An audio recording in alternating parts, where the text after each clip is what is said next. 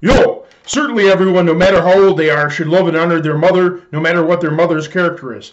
And as long as one is a child, they should obey their mother. Even after becoming an adult, people should seek to respect their mother's wishes. And if their elderly mother is needy and they are able, they should take care of their mother.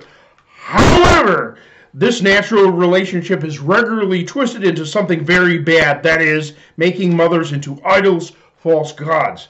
Being a quote unquote mama's boy as a child is fine and is not what I'm talking about.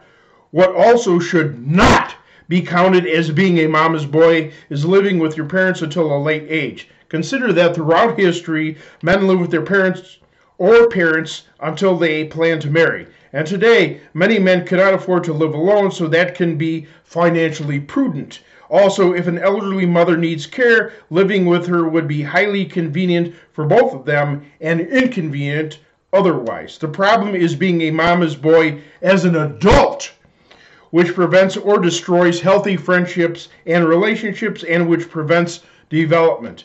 Here is what should be considered being a mama's boy. One, doing or being willing to do something clearly very immoral and or illegal under his mother's directive. Two, having his mother control his finances unless he's handicapped.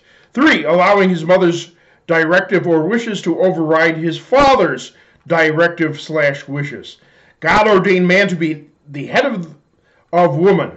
It is an ironclad divine mandate for an adult male allowing his mother to continue to be the primary shaper of his thoughts and personality. Five, allowing what clothes he wears, car he drives, house he lives in, or what activities he does or does not partake in to be directed by his mother, unless he is severely handicapped. Six, if he allows his mother any input at all into any human relationship, as she should have none. In the early years of my parents' marriage, my mother and my father's mother were embattled.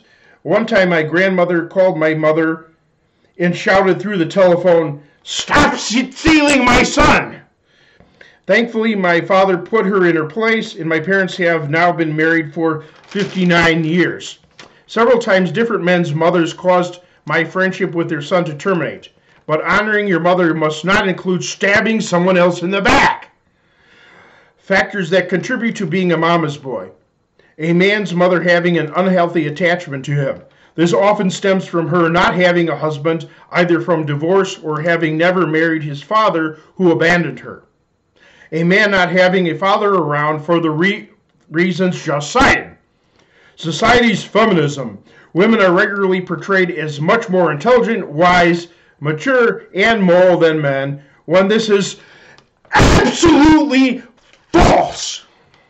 Due to this propaganda, men either consciously or unconsciously adopt femininity instead of masculinity. Recognizing these factors can help avoid them. Also consider that it takes no special character or effort to be a mother, as even female skunks, rattlesnakes, or even mosquitoes become mothers via pure natural biology and nothing else an estimated 4% of the general population are sociopaths.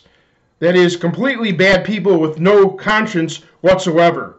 And there's no good reason why the percentage of sociopathic mothers would be any lower.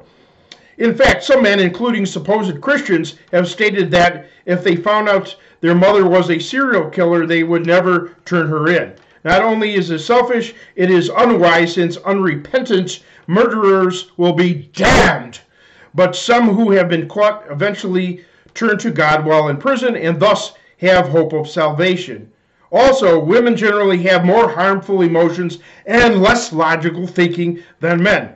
Yet facts don't care about your feelings. In fact, I believe that all mama's boys will eventually roast in a devil's hell. If you are one of them who is engaged in this faggotry, change your!